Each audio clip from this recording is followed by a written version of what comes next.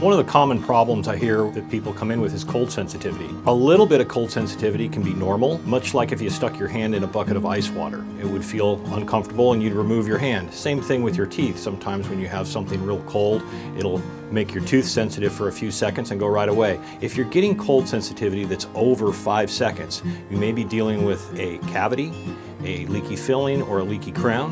You may be clenching or grinding your teeth, or you may have some issue with your sinuses. So remember, if you got cold sensitivity over five seconds, pick up the phone and give us a call. In dentistry, an ounce of prevention is truly a pound of cure.